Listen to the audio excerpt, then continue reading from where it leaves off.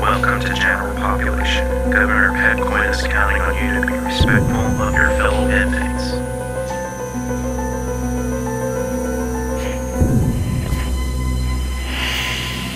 Don't worry, Warden. I'll play nice. I think I'll have a few friends for dinner.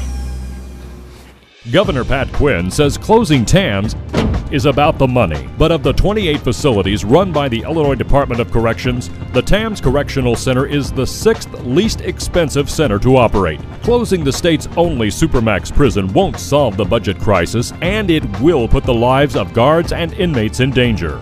But let's be honest about how we got here. It is the reckless spending of Senator Gary Forby and his Democrat colleagues who control every branch of government that put the security of Illinois' correctional officers at risk.